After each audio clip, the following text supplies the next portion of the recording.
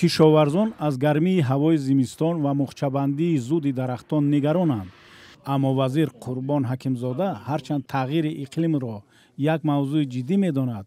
Мегӯяд гарм омадани зимистони имсола ба меваву сабзавот таъсири бад надорад. Дарахте ки гул кардааст ин бодом аст. Ки дигар намуди дарахтҳо ман боварӣ комил дорам зарар надидам.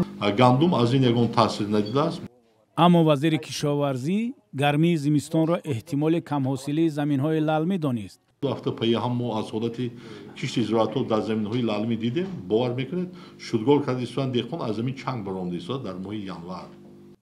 Амонулло салимзода президенти академияи илмҳои кишоварзии тоҷикистон мегӯяд ки олимон навъҳои растаниҳоеро пажӯҳиш мекунанд ки ба гармиву тағйироти иқлим тобовар бошанд пешниҳод кардаги ҳастанд. Ман фикр мекунам ки солҳои оянда инҳо вақте ки тасдиқи расмии худашон гирифтанд ба истеҳсолот ҷорӣ карда мешавад. Вазири кишоварзӣ таъкид кард ки ниҳоди ӯ ба тағйирёбии иқлим омодагӣ гирифтааст бо якчанд э, ташкилотҳои байнахалқӣ шарикони рус аз он ҷумла ифат ва дигарҳо муроҷиат кардем ки бисёртар мо баъзе намуди навъҳое ки аз хориҷи кишвар аз минтақаи шарқи миёна аз минтақае ки дар он ҷо гарм аст ворид намуди баъзе тухмиҳо ки ба гармӣ устувор ҳастанд.